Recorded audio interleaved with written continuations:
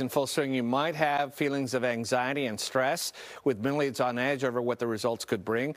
We have you covered with tips on how to ease that tension. With us now is Jackie Shields, a clinical psychologist with Kaiser Permanente. Welcome back to the show. Thank you. I think a lot of people might be worried about the election results, but other than voting, they really don't have any control. You vote, and then that's it. You have to wait. Uh, how are people dealing with that? Uh, it depends. Some of us are not dealing as well, and others of us have kind of removed ourselves and are marching forward. So I think, although it's our responsibility to vote today, much of this anxiety is based in uncertainty. Much of it is out of our hands at this point. Right, and it used to be that you would find out the night of, but now this uh, you know feeling of angst could go on for a few days. What do you do if you find yourself uh, being short with people, yeah. uh, being you know maybe your heart's beating fast? What do you what do you do in that situation? So it, it's twofold. One, choose empathy. When you communicate with your loved ones, with your friends, with your colleagues, always base your conversations in empathy, knowing that everybody has different diverse backgrounds and it makes people who they are and what they believe in. And then similarly, if you're finding yourself with those symptoms of panic and anxiety, do something to help ground you. Refill your fuel tank, go on a walk, eat good, adequate nutrition. Mm -hmm.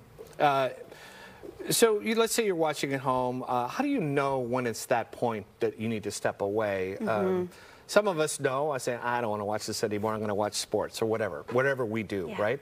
But maybe some people don't know yet. Uh, they they start having symptoms like being mm -hmm. grouchy or yeah. having a headache. Can you tell me how you would know when it's time?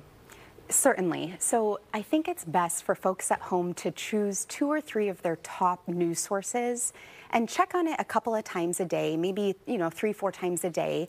And I think we're all on autopilot with our cell phones. We check it, you know, five, ten times an hour. Mm -hmm. And so one of the cool, helpful settings you can enable is focus mode, where it kind of takes all of the text messages that you want, but it quiets the notifications from your apps. And I think that could be a really helpful tool for folks at home.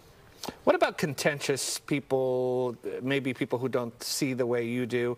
This is a very polarized country, uh, and someone might say something.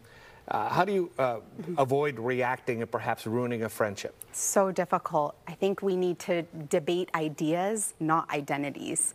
Um, we, we value people, they're our friends for a reason. We don't always need to mesh politics with our personal preferences on why we like to engage with somebody. And finally, um, you know, this is a day that comes once every four years. I, I don't think the other elections are quite as panic inducing, right? Because uh, the, the, less it happens, the more it is a special event. After today, maybe people can, do you think people will come back to being kind of more grounded?